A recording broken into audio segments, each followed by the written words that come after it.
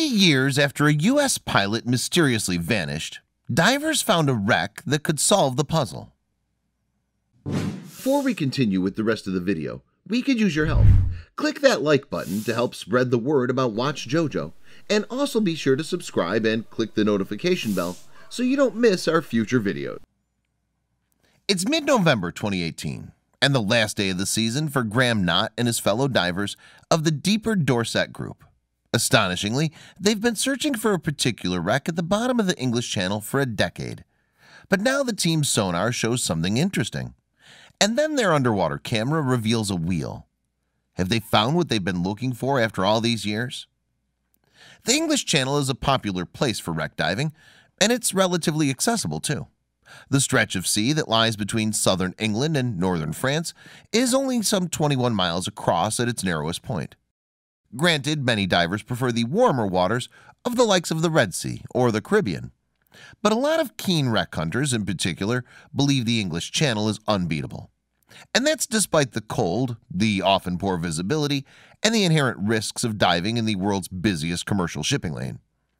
Offsetting such downsides, though, is the fact that there are enormous number of wrecks to explore. The reason for this? Well, over the centuries, the English Channel has set the stage for countless sea battles, not to mention the aerial warfare that played out overhead during the 20th century's two world wars. But what of Graham Knott and his fellow divers in the middle of all this? Well, for one, Knott and the deeper Dorset outfit have certainly had some successes over the years. Back in the 1990s, for instance, the team discovered the wreck of a sailing ship called the Arakan, a trader that had made trips to India and China. She sank in about 180 feet of water after colliding with another ship in the English Channel in 1874. Then there was the Minnesota, a cargo ship that had been sunk by a German submarine in 1917. Knott and his comrades found that sunken vessel as well, you see. Yes, although professional salvage divers had arrived at the site first, attracted no doubt by the silver bullion on board, those salvagers didn't report their find. So Knott was the first to reveal Minnesota's location. But it wasn't a vessel from Britain's rich maritime history, nor indeed a ship or plane from the world wars that Knott devoted 10 years of his life trying to find. Rather, it was a 37-ton Lockheed C-130 Hercules, a transport plane that had been lost in the English Channel on May 23, 1969. As the story behind the loss of that aircraft would scarcely be credible if it hadn't been so comprehensively documented.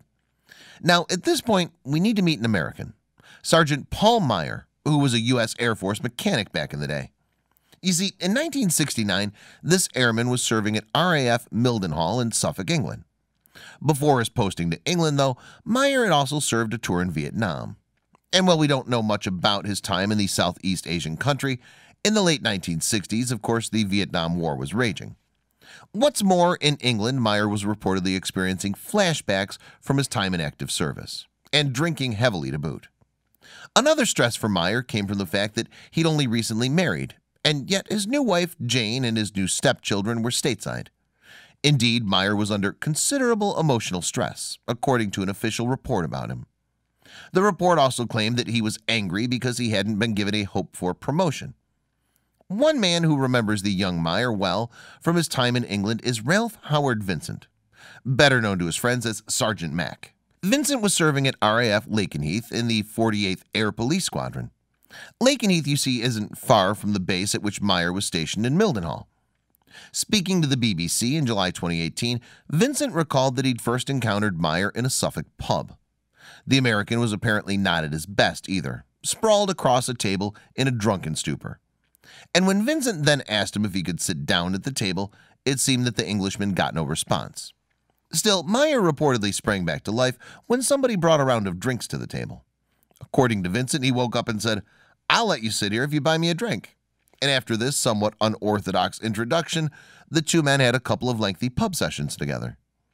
Vincent also told the BBC that he had a strong memory of Meyer expressing his disillusionment with the Air Force. Apparently, the U.S. airman talked at length, too, about how much he missed his family back in the United States. And in addition, bizarrely, it seems that he shared some of his favorite squirrel recipes with Vincent. But what really stuck in Vincent's mind all these years later, when he spoke to the BBC, is what Meyer had said about his flying plans. He came up with a proposition, Vincent remembered.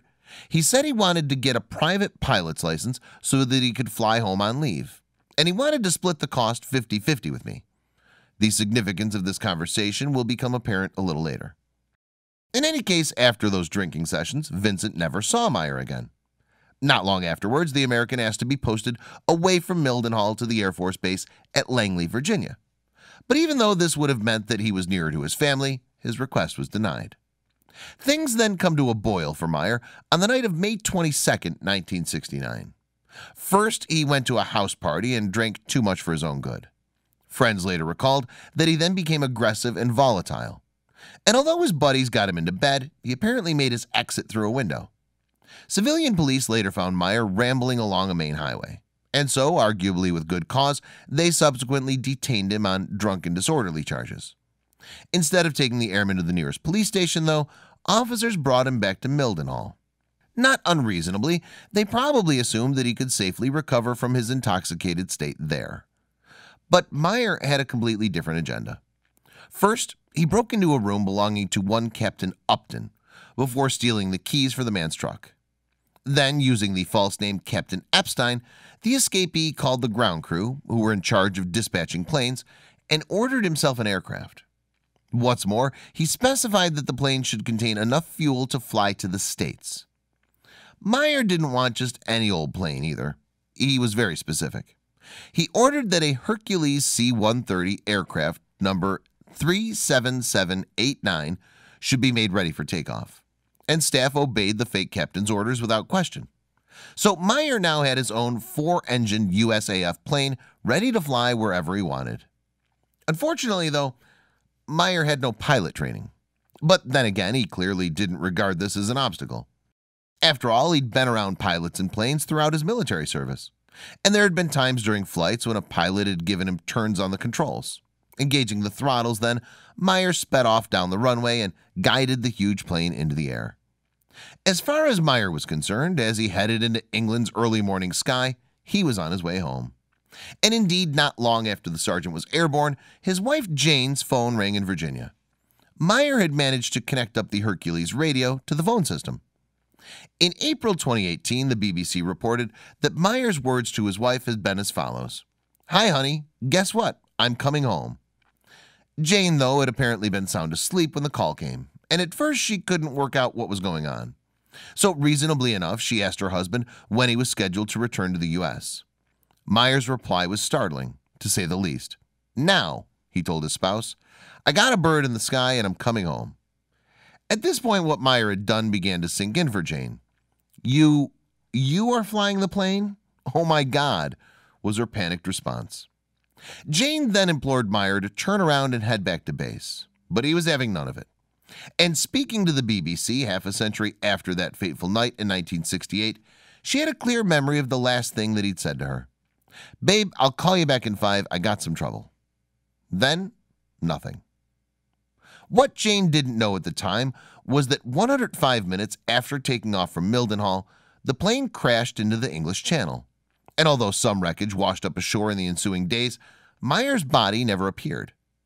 The circumstances of that crash into the sea remain controversial to this day.